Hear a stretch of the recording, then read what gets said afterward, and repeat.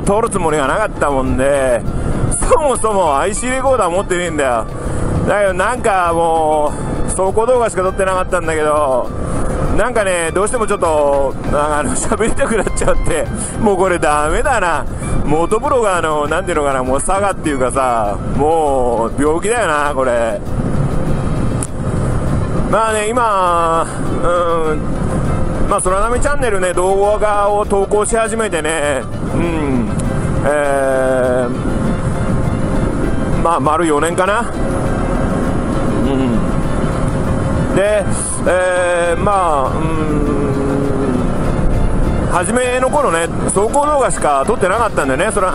空波チャンネルはね、初めの頃はね、走行動画しか撮ってなかったんだよ。で、まあ、ちょっと原点にね、戻って、まあ、走行動画撮ってみてえなと思って、今日はね、もうわざと IC レコーダー持ってこなかったんでね。どうしても持ってくるとさ、喋りたくなっちまうんだよ、もう。もうダメだよ、病気でさ。でまあそれで結局ね喋りたくなっちまって IC レコーダー持ってねえのにこうやってあのアクションカムねソニーのアクションカムのマイクのところに、えー、線突っ込んでね、えー、無理やり喋ってます。であのここはいつもソニーのカメラなんだけど置き取りで使ってるリコーの、えー、WG は無理やりつけてそこまでして喋りてえかおめえはっていう ことですけどね。うんまあね、でもね、えー、ちょうどね、昨日ライブやったんだけど、えー、そのライブ中にね、えー、チャンネル登録者様数がね、6000をね、えー、超えましたね。超えさせていただいたというか、超えていただいたというか、まあ本当にね、なんちゅうかな、これ、また感謝動画は感謝動画で、あの、改めて撮るつもりなんだけど、本当にね、うん、まあ、俺の、なんていうのかな、こう、実力、実力っておかしいけど、まあ、その俺の作ってる動画が面白いか面白くねえかっていうのはまあ別として、まあ、それ以上の登録者様数をいただいてるっていうのは、まあ、これ間違いねえことで、うんまあ、正直、俺もいろんな元登録見るけど、まあまあね、俺の動画よりもね、うまく作ってる人は本当に星の数ほどいるし、俺の話なんかより全然面白い人も本当たくさんいるし本当にねあのー、俺の動画なんて本当しょうもないよ。でこんなになんで登録してもらってるか本当わけわかんねえ 正直わけわかんねえと思うんだけど今日これ映ってるかどうかわかんないんだけどさあのラフロードのジャケットをね、えー、着てんだけどこれ、あれだよ、あの、よくさ、なんていうの、ちょっとこう、なんていうのかな、間違った解釈をしてる人もいると思うんだけど、なんかこう、普通のね、なんか、まあ、普段着、まあ T、まあ、T シャツ、まあ、長袖だったらあれだけど、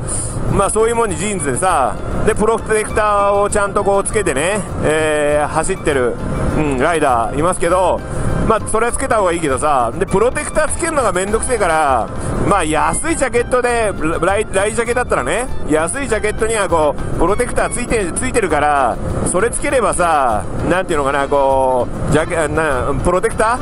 ー？しなくていいから、まあ、着脱がね、とかめんどくさくねえから、ライジャケ、えー、買ってきてるっていう人が、えー、いるかもしんないけど、それ、あのはっきりと大きな間違い 間違いだからさ、あのそれ注意した方がいいんだけど、これ、まあ、俺今着てるようなジャケットって、これ、ラフロードなんだけど、うん、ラフロードって言ったら、まあ、一応、なんていうのかな、こう、うん、ライジャケのメーカーで言ったらさ、そんな、なんていうの、おかしなメーカーじゃねえわけだよね。うん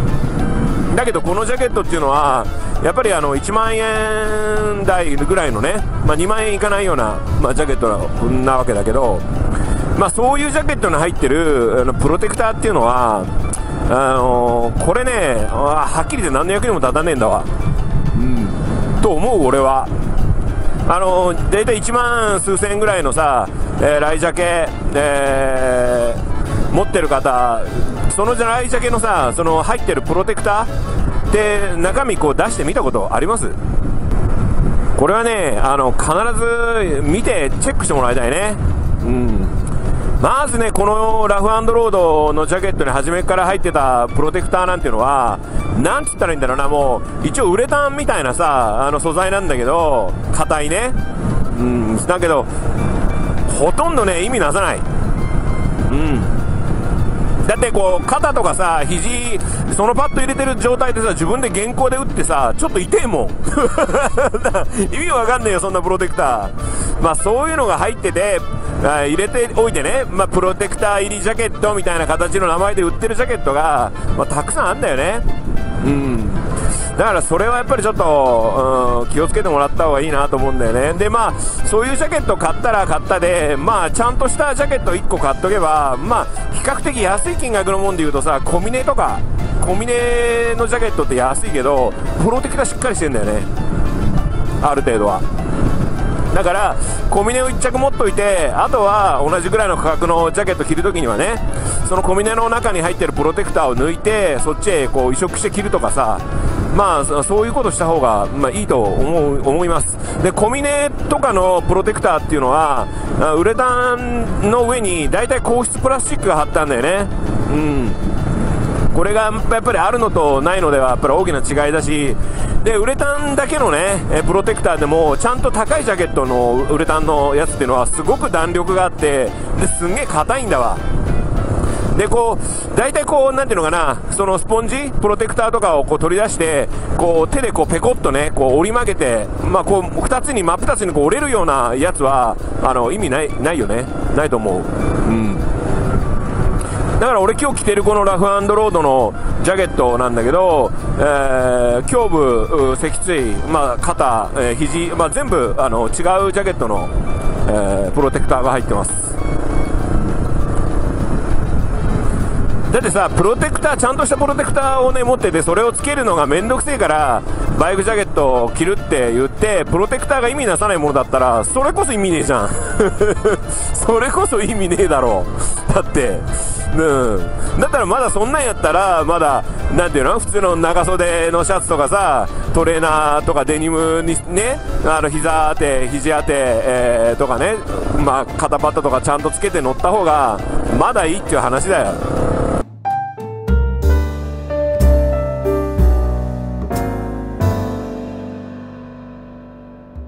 で、今もさ、あのー、道の駅飯高でね、ちょっと休んでったんだけど、まあ俺、あそこのパン屋さんの一休さんのおばちゃんが大好きなんだよね。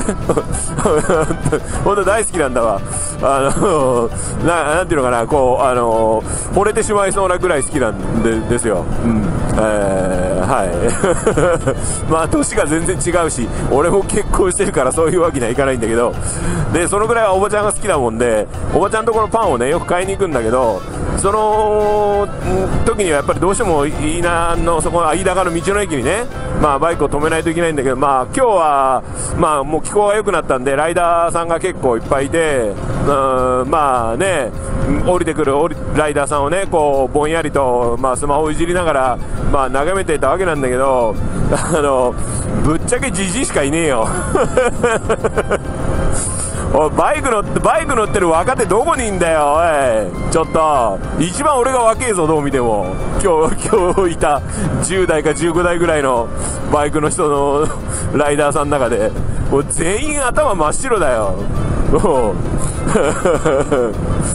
本当だよな。もう、大体みんな60代だよね。今日乗ってる人なんて、ほんとそんな感じ。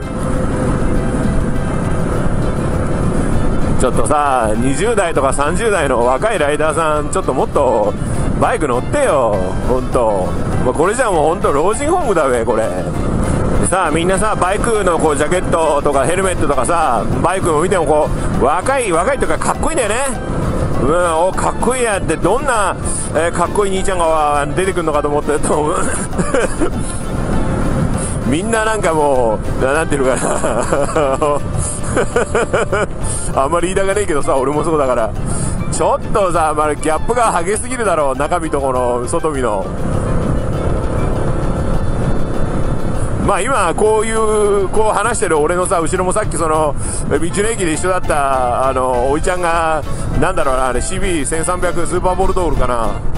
うん、それで後ろを走ってるんだけどさ、このおじいちゃんも大概なおじいちゃんだぞ、本当。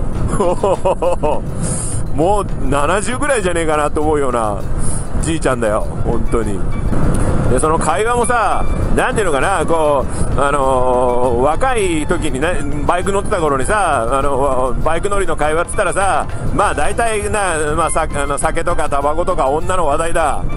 大体そんな、そんなとこだよ。なんだけど、なんか今日話聞いてたらさ、ライダー同士の話聞いたら、しょんべんしてきたらさ、なんか、じゃあの、しょんべんのこう、なんかキレが悪いもんで、あの、漏れるとかさ。尿取りパッドがどうたらこうたらとかさ、そんな話題だよ、だって。いいのこれ。もうほんと、バイク乗り滅びるぞ。まあ、本来だったらさ、俺ぐらいの、なんていうのかな、じじいがだよ。まあ一番こう長老みたいな感じでさ、えー、いいか若い奴らお前らっていうような感じでさ、あのー、なんていうのかな、こう説教垂れるような、あのー、状態じゃなきゃいけねえと思うんだけど、な、どう見たって俺が一番若造だからさ、わけわかんねえよ。このな、なんだこのバイクっていうこの、この社会。意味わかんねえ。俺は、まあその人らもそうなんだろうけど、バイク乗ってなかったらもっともっと老け込んでるような気するよね。筋肉も落ちるし、ね、休みの日なんか家でゴロゴロしてさ、せいぜい DVD かなんか見て菓子食ってるだけだろう。まあ、そんなのが関の山だと思うけどな。まあ、その間、それでもさ、えー、バイク乗って外出りゃ物も食わねえし、飲み物も飲まねえ。で、山に行けばさ、かなり、えー、体力も筋力も使うから、まあ、うん、健康的にはいいよな、これ。まあそのおかげかどうかわかんないけど、俺、あのなんだか体、体組成系みたいなやつ乗るとさ、まだ俺の肉体年齢って30代だもんね。結構なんか看護婦さんとかでびっくりされるんだよ。え、若いですねって言われて。若いですねって言われてもな。まあでもそれでもさ、俺、本当に動画やっててよかったなと思うのは、うん、本当に、まあ1人や2人じゃないんだよね。本当にあの申告してくれた人だけでもさお前の動画見て、えー、バイク乗り始めたよっていうことね。からお前の動画見て、えー、俺はリターンしたよっていうそういう人はさまあ俺は1人でもさそういう人いたらそれでも俺動画やってきたことに関してもう満足で本望なんだけど本当にたくさんそういうことを言ってもらってさもう俺それだけでもう本当に何て言うのかなもうあとは何もいらねえよ。特にリターンしませんかっていう動画でも言ったけどリターンするかどうか迷って迷って迷って。そういう人はぜひ乗ってくれって俺あの動画でも言ったけどリターンするか本当に迷うって人は、俺は、あの、本当に他人のこと、自分のことだけじゃなくて他人のことっていうのが考えられる人だと思うんで、だから迷うんだよな。だから迷うから、そういう人は本当に、そういう人こそか、本当にリターンしてもらいて、だからこの間、そういう風に動画で言ってくれた、えー、北陸のコロスケ、えー、さん、うん、ああいう人にこそ、えー、リターンしてもらって、えー、俺は本当嬉しいね。まあ本当はさ、今日はあのこんなだらだら話してるけどさ、今日は本当は俺は 本来だったら今頃北陸を走ってるはずだったんだよね。まあいろいろこれライブでも言ったけどさ、まあ運命だな。もう仕方がねいけねえもんで、まあいつかはまあ北陸行くわ。うん、行く。で、えー、そのそういうふうに言ってくれた、えー、コロスケさんに会いに行くべ、うん、からヒュズさんにもできあの、ね、都合さえ合えば会いてえな。この想い風に乗せ消えて